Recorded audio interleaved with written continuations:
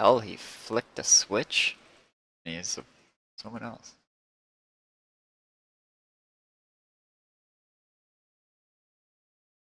Hey guys, it's me, World's Worst Gamer. And today, on Comic Corner, we're going to continue our series of the Secret Wars 2. We'll continue with uh, number 4 in the 9 issue limited series, and uh, usually I have the actual comic with me here on my keyboard to read for you, but uh, I am missing this one comic of the series. Issue number four, so we're going to do it through a PDF reader. Alright, so here we go. I hope you enjoy it.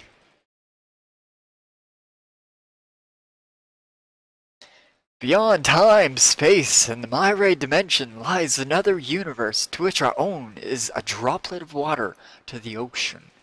The one who is all in that other universe has learned of our universe and has come here to walk among us, that he might come to understand the essence of humanity. The fragile earth trembles beneath his feet, dreading his godlike omnipotence. Stan Lee presents Secret Wars 2. Love is the answer. She is Sharon Ing Harris, actress, jet set socialite, internationally renowned beauty. But right now, fame and fortune have no meaning to her. So lost is she in love with the man who holds her so firmly and kisses her so sensuously. Nobody does it better. Sharon Ing doesn't know who's kissing her. Not really. A man. She thinks a wonderful, incredible, unforgettable man who somehow seemingly magically found her and captured her heart. It is no man embracing her, however. It is one from beyond, and he will be the death of her. I must be leaving now, Sharon. I have other business. It's been very nice being with you. When will I see you again? I don't know. I've never... I'm never gonna see you again, am I? I don't think so. I love you. Do you know that? Though I've only known you for a short time, no one has ever meant so much to me. I've never met some anyone like you before. I don't even know your real name. You said you are called the Beyonder by some. What kind of a name is that? Do you have a name? No. Or... Goodbye. Seconds later, outside the expensive Washington, D.C. hotel that is the temporary residence of the one from beyond. Your car, sir. Careful, traffic's pretty heavy today. Oh, that won't bother me. Soon. Jeez, they must be filming a commercial or something. Look! I gotta get one of those. What is that? Meanwhile, at nearby Andrews Air Force Base. What is it? Judging from its speed and altitude, sir, I'd say it's a cruise missile, but the heat signature's all wrong. Whatever it is. The fighters we scrambled out are intercepted any minute now. and I'm at 10,000 feet now. It's a, it's a warm, calm, quiet, and here behind the wheel, it's easy to think and reflect. Why wonder so many humans in this country take a drive to relax. During the time I've been on Earth, I've learned a lot about the ways of humans, and I'm beginning to understand the nature of desire, which seems to be the basis of most of the activity going on in this universe. I've dabbled with various means of gratification with mixed results. I think I'm ready to begin more pointed experiments. On this tape I'll record the first steps of my experiments. While flying up here, I quickly scanned the desires of every living creature on Earth, as I expected most fall into pretty basic and predictable patterns. There are exceptions, though. There is a, a creature, or the remains of one, lying virtually dead far, far underground beneath English countryside. He is, or was, Algrim the Elf. He fell into a lava pit while battling against the Asgardian Thor. The mystical protective properties of his elfin armor keep him ever so slightly alive, though his body is rather thoroughly cooked and shriveled. Of all the higher life forms on Earth, he is the most single-minded of purpose, and perhaps it is his one all-consuming desire that kept him alive as much as his armor did. He desires the death of his archenemy Thor, and that alone.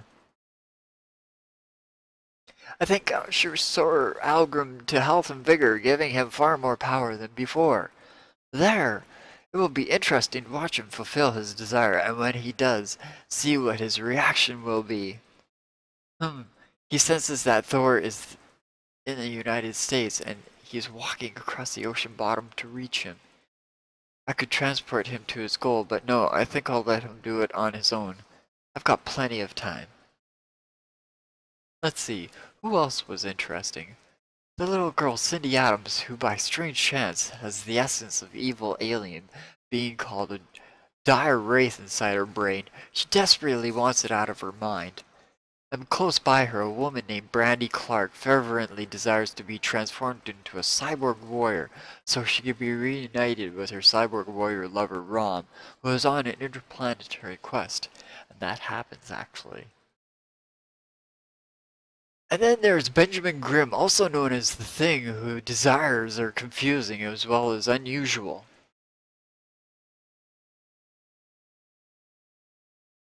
alien being called the Silver Surfer desires freedom from Earth. He believes that impenetrable barrier holds him here. United States President Ronald Reagan desires a tax reform a certain way. Captain America desires the that the ideals he cherishes become reality throughout the world. Firebase 1, we have the boogie in sight. Holy! Blue Leader, do you see what I see? I think so. Lily, report. What is that thing? It's a Lamborghini Countach, sir. There's a pilot, a driver. He's talking into a tape recorder and, uh, chopping vegetables in a Cuisinart. Said that right? Probably did. Blue Leader, that car is heading in the general direction of White House at missile speed. Take no chances. Bring it down. How, sir? Give it a flat. God darn it. I don't know. Just do it.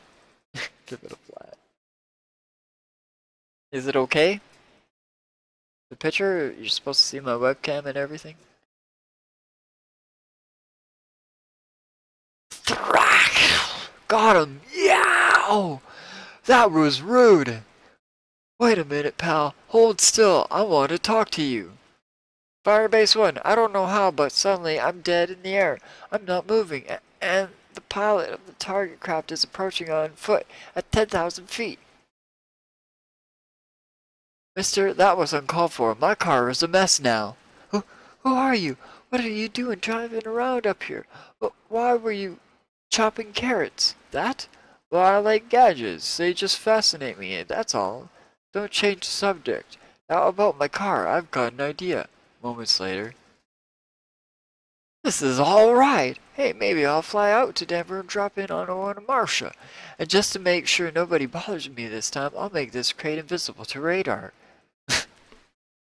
Meanwhile, Eddie, we, we got business falling out of the sky. Look, what's this? How did... Who are you, Evel Knievel? I'm a pilot. UA, USAF. I'm, uh, just dropping this off for somebody else.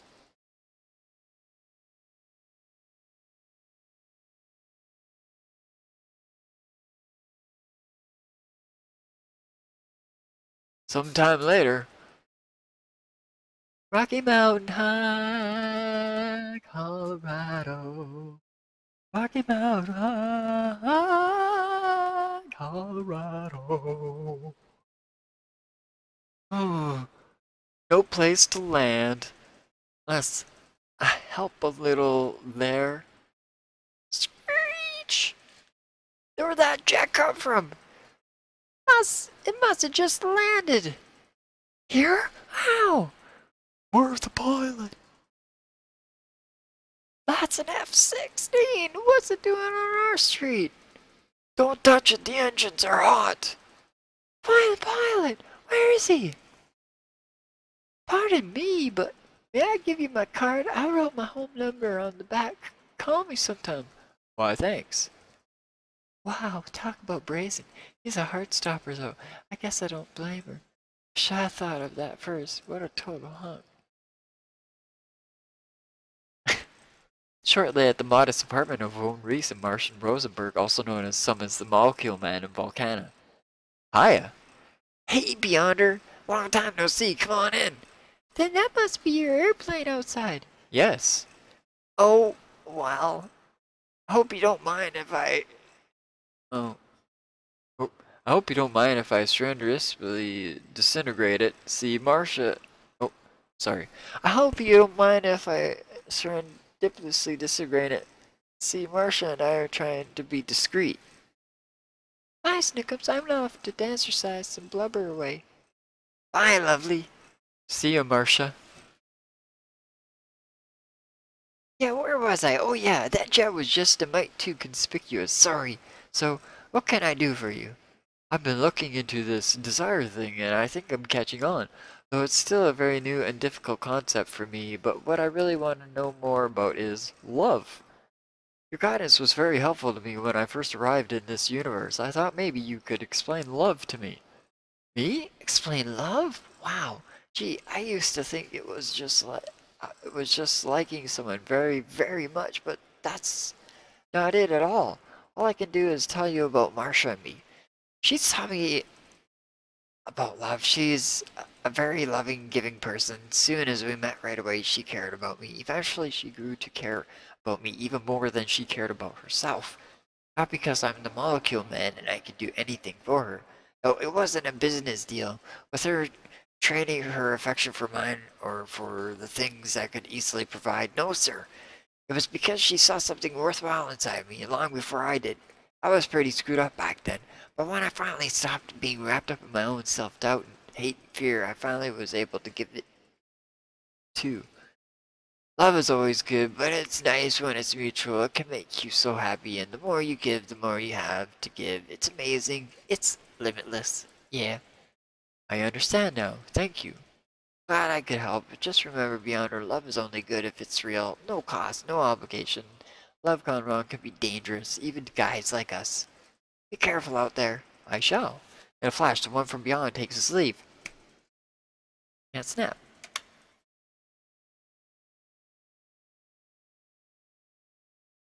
Teleport back to his hotel suite only to find Sharon! Immediately he senses that she is not breathing, nor is her heart beating, and that self-inflicted uh, barbiturate overdose is the cause. Huh. She's dead by human medical standards, but not beyond the reach of my power. Uh, my head. What? I'm alive. I'm alright, but yonder, you came back to me. No, I simply came back. This love you profess for me, why do you feel it? Why? Because of what you do for me, what you do to me. You bring me ecstasy like no one else could. You're wonderful to me. Ah, a business deal. What? I want to experience real love. I must find a partner, one of these, perhaps. How are you doing that? Making pictures in the air. Hey, some of them are men. Why not? I am innately of neither gender. I could just as easily take female form. So. Oh! but, no. I adopted a, the male form first, and I'm used to it. How do you do these things? Who are you? Oh, never mind. Let's see, a suitable woman. Hmm. Ah, that one. Her? Why her? I'm as pretty as she is. What's wrong with me? Your love is not real. You bargain it away in return for how I make you feel. I only consider women whose love cannot be bought at any price. She stood among them because she also is a mutant, perhaps the most powerful ever to walk this planet. That intrigues me as well. Please, go now. All right. Outside in the corridor. I don't believe it. I, I just can't believe it's over. This time is finished forever.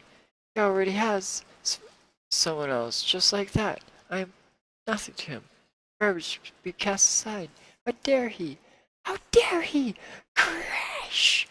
Moments later, as the elevator arrives, what a strikingly beautiful woman, and the way she carries herself, so erect, so proud, like a queen.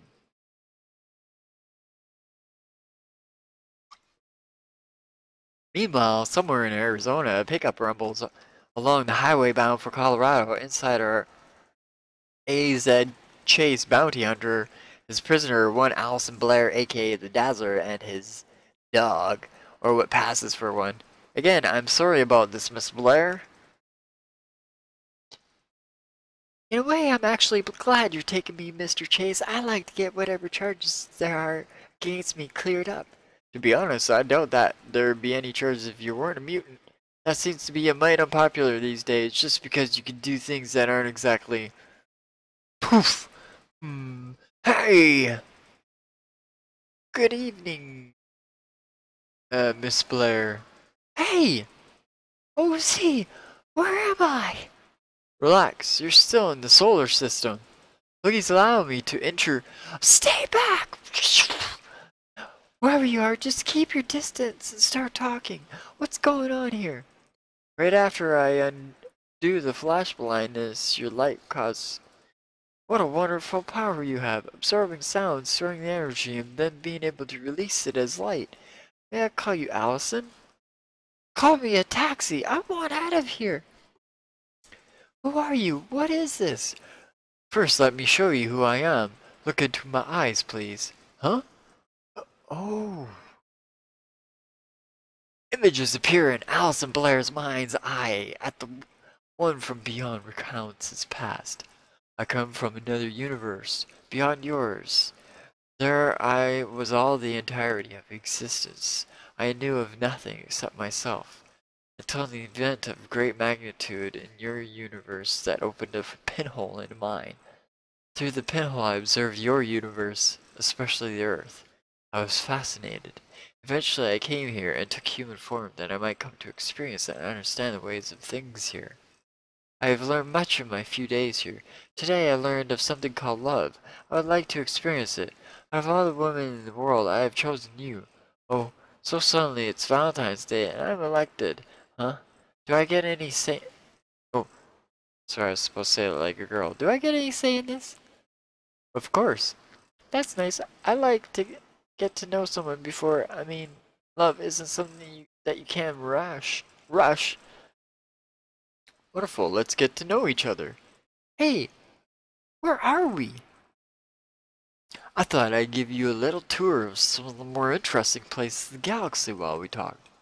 Oh, well, not that your little portable hideaway is charming, but how about putting me back on Earth? Okay. Meanwhile, in the Arctic. Oh no! or sorry, the Antarctic. The penguins.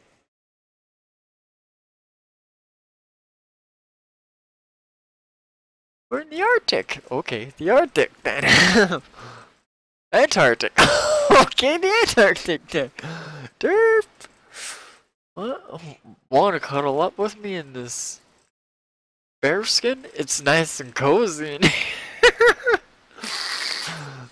That's not how to get to know someone. Oh, Pop.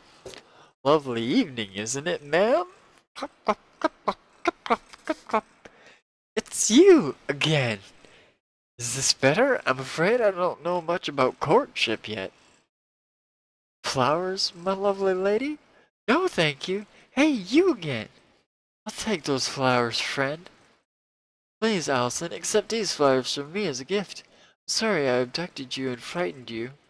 Another you! I don't believe this! Would you believe Rio? At carnival time? It's it's beautiful, spectacular. Would you like to dance? Everyone else is. Yes, I mean no, this isn't normal.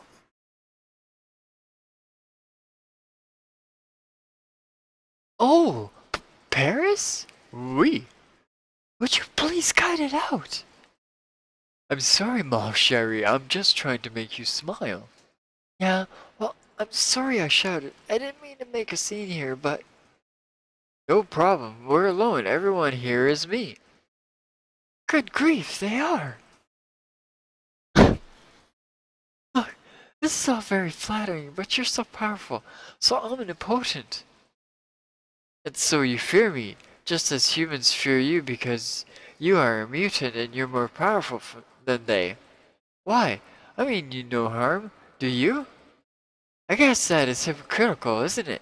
Touche. Let's go one more place. A quiet place where we can talk alone. I know that you're still afraid. Ever since I appeared on this world, people have been afraid of me.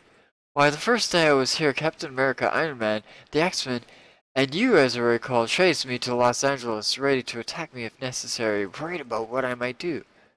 I admit I did a foolish thing early on, until I knew better, but nothing so terrible.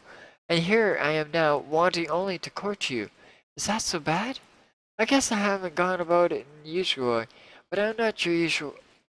Oh, guy. I'm supposed to talk like a guy there. And you're not exactly ordinary yourself. In fact, while we've been dating, Alison, I took the liberty of looking into your soul. What I found there was greater and more beautiful than I dreamed possible. It's astounding, paradoxical. All at once you are but a tiny speck of protoplasm, an infinitesimal mote the whole of the universe, and yet inside the essence of your being you are more, it seems, than the universe itself. I am odd, but I do not fear you. Give me a chance, Alison. That's all I ask.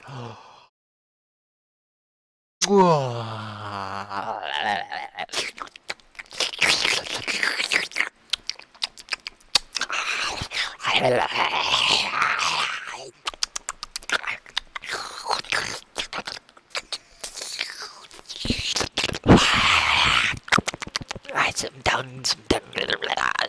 We go down, yeah, just like that.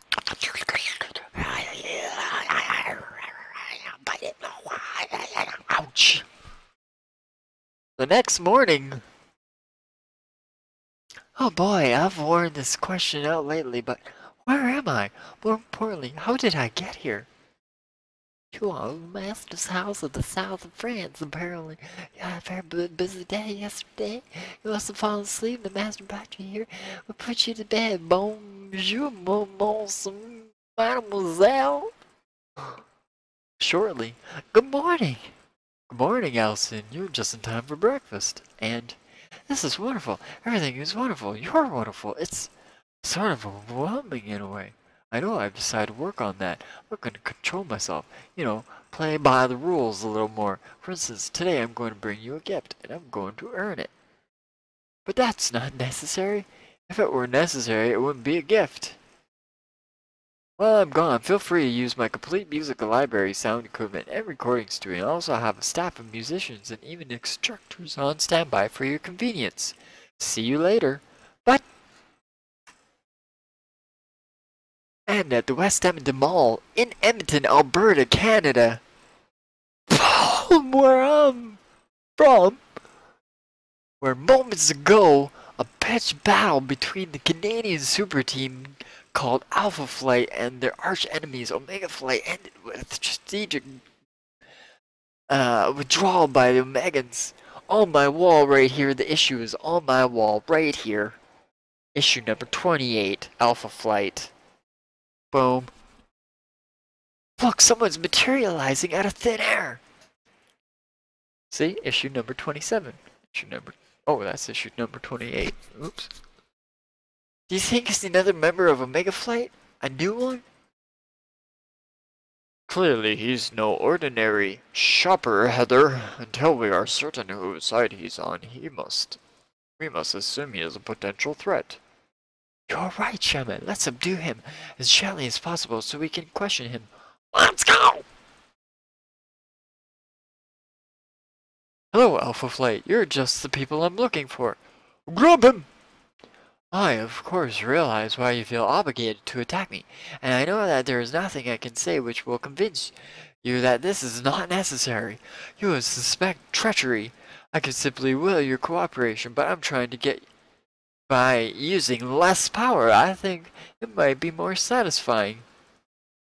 So, here we go, the hard way. Northstar, Puck, you first! Using Northstar as a missile to bring down his sister Aurora, who like him has super speed, is somewhat fitting, isn't it? It's also spectacular since they create a blinding flash when they touch. An interesting phenomenon. How do you know so much about us? Who are you? Sorry. I am from beyond. I have the power far greater than the sum of all power in existence in this universe, and I know what I choose to know. Uh, not really, but being effortlessly bounced away clears up one area. You just can't argue with empirical evidence. Does that answer your question, Box? I'm supposed to read that first. Ah, Snowbird, who can change at will into beasts of awesome power. How about if I just make you sleep? Impressive, you have yet to reckon me with. Reckon with me, however. Shaman, just the man I need to talk to. We'll talk after I use an artifact from my medicine pouch to render you helpless. Well, actually, I'm here to borrow you for your pouch for a moment. What? No! Relax, I'll just keep it for a second, and I intend to pay for use, using it in a manner of speaking. The pouch, it's growing. Correct. And here's your payment in advance, Shaman. My daughter, Talisman, you drew her forth from the mystic void inside the pouch, where she was trapped. You saved her. Right. It was easy once I enlarged the pouch. She would fit through the mouth. Talisman, she's back! And our strange foe did it. Now I'll restore the pouch to its normal size and fish out what I came for. Mister, we must talk. Okay, but only for a moment. I'm in a hurry. And so, seconds later, it's time for me to depart. Awesome! Half a world away.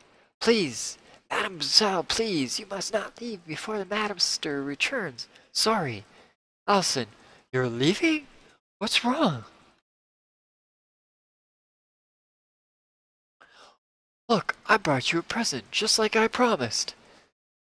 No, thank you. Somehow I'm going to get myself on a new flight to New York. That's all. I want... Eek! Is this okay, or would you rather be uptown? Uh, I'd rather you didn't do that anymore. Look, I just can't deal with this, and honest, I'm afraid of you. I'm not afraid of you anymore, but I don't want trips and presents and things so easily. Okay, no present. It's just a trinket anyway. Clink clink. Look, don't get me wrong. Yesterday was really beautiful. Beautiful beyond words. I get chills just thinking about it.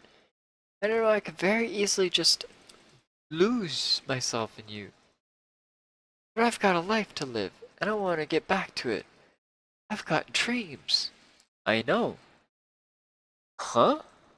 Ladies and gentlemen, I give you the incomparable, incomparable Alison Blair, the Dazzler.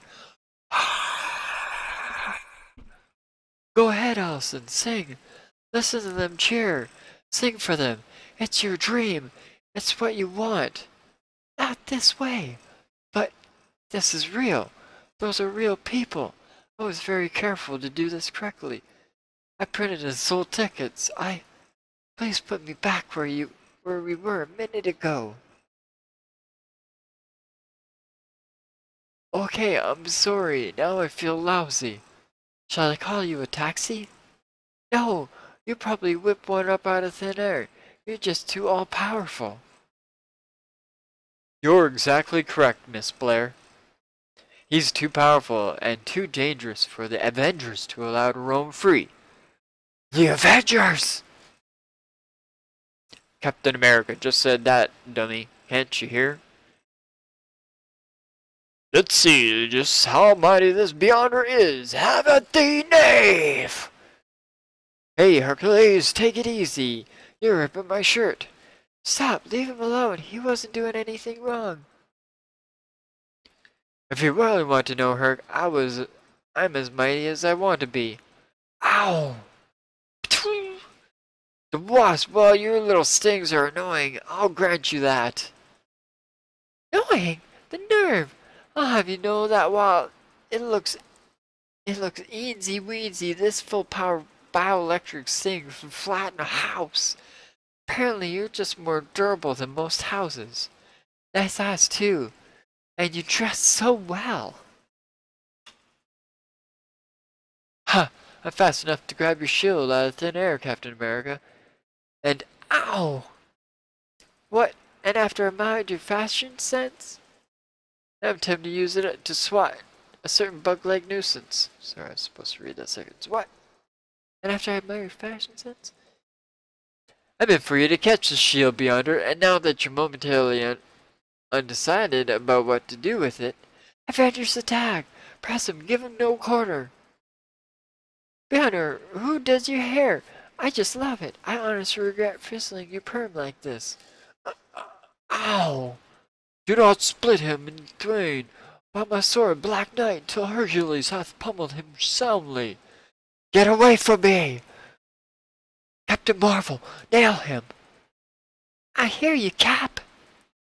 Stop it! What's wrong with you people? What's wrong with us? What's wrong with you, lady? That you can't see what's wrong about this guy being in our universe. Cthulhu! That didn't stop him. Unbelievable. Hardly. It's not even surprising. It was only an electromagnetic energy blast. The whole darn spectrum at maximum intensity. Shoot, it's up to you, Star Fox.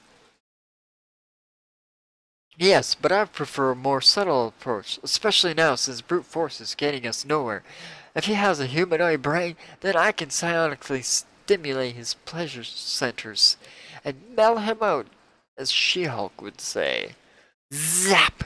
Hey, wow, ow! You hit him high, I'll hit him low, Hawks. He doesn't know whether to laugh or cry. He's completely helpless. Nice work, Star Fox. What are you going to do to him? Why, we must make certain he menaces our universe no longer and never again. We have no choice.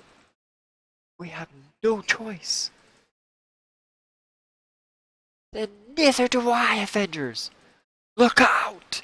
Yeah! D Dazzler! Thank you, Alison. If it weren't for you. Are you alright? Uh, I think I can manage to hold them off long enough for us to escape. Thank goodness.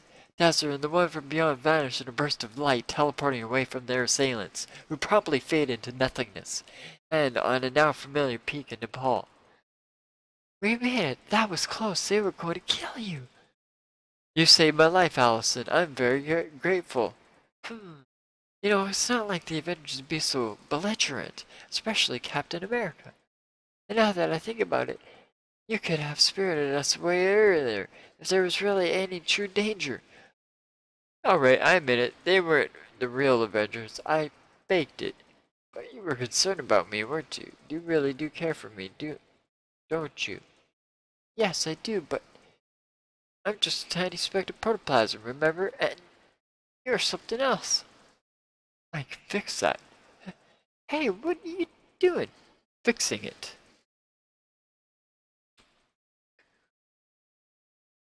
What is this elation I feel? The skinniness. I'm aglow as if a trillion trillion suns were suddenly ablaze in the center of my soul. It is because I am giving you the only thing I can give you that truly matters. Power. Of that which is me, I have given half to you, Alison. Now we are equals. Now nothing stands in our way.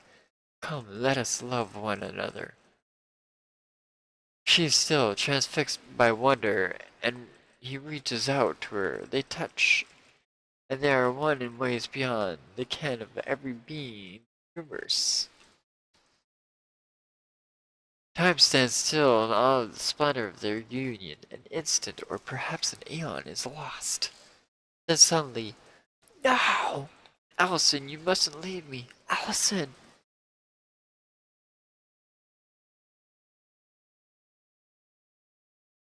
She flees, and in a microsecond is half a world away, driven by desperation. He catches her in, in the skies over Dallas. Why do you flee? There is cosmic ecstasy in our being as one. Feel it. You must feel it too. It is glorious. Wonderful. Do not deny it to me. No, no, please stay away. Alison, R. Stay away. I do not want to hurt you. But I don't love you. I can't love you. When we touched, I knew. It isn't real. And no pleasure, no power can make it so.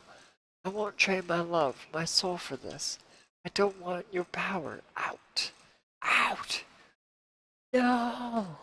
Our energy spews from Dazzler's being flooding back into the body of the one who from beyond.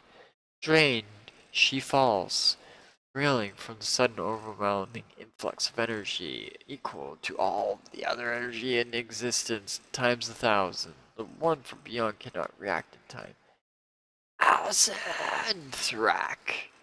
Last vestiges of my energies which lingered in her aura are flowing back into me, but that means she's dead.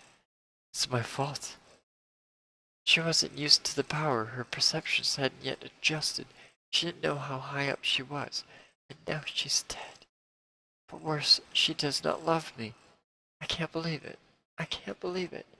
How, how could she do this to me? Holy cow, get back!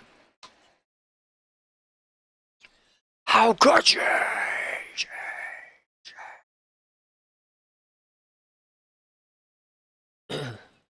A bolt of pure force, born of the rage churning in the heart of the one from beyond, knives upward, slashing through space and time, instantaneous, a billion parsecs of Earth. From Earth, it strikes a galaxy and utterly obliterates it. Moments later, equally awesome energies, more calmly wielded, pull Alison Blair back from the brink of truly irrevocable death and repair her shattered body. Hello, Alison. Wow, I'm alright now.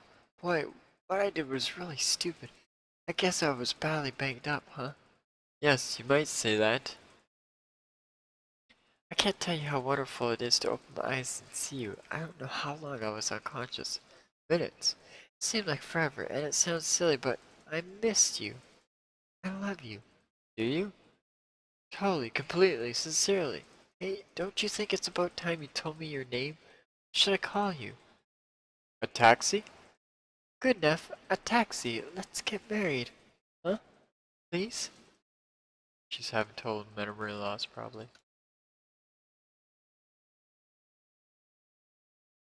I bet they have some nice wedding gowns right here in this shopping center. Let's go see. Gee, it's kind of crowded in here.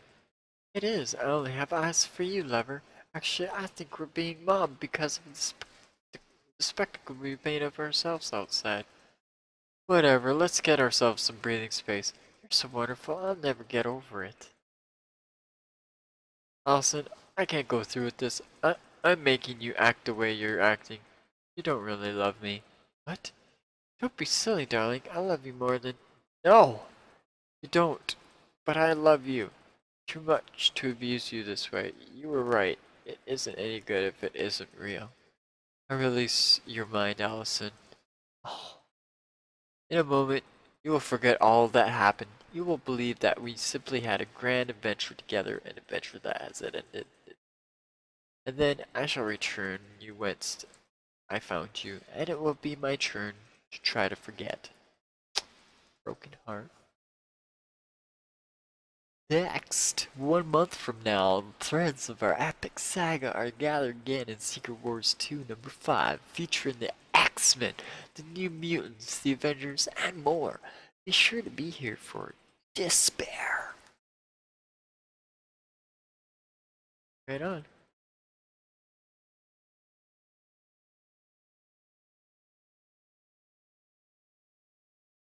Well, guys, that was Secret Wars 2. 4. Sorry it wasn't real, but that's the only one in the series that isn't. Love story, no wonder why I didn't buy it. I'll still buy it though if I find it. Multiple copies. Thanks for joining me. Uh, stay tuned for issue number five real soon. Hope you enjoyed it. I sure did. Best love story I ever heard. Better than Twilight. Definitely.